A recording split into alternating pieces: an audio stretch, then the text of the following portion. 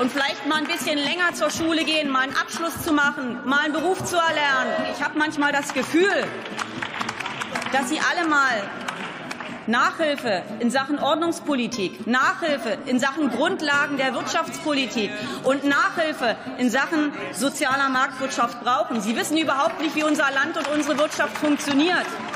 Und ich schäme mich manchmal hier in diesem Parlament Vorschläge wie diesen zu hören.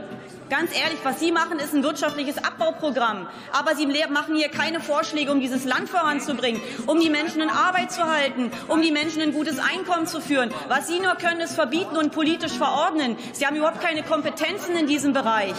Und deswegen empfehle ich Ihnen hin und wieder mal zuzuhören, mal ein paar Jahre zu arbeiten, liebe Kolleginnen und Kollegen. Und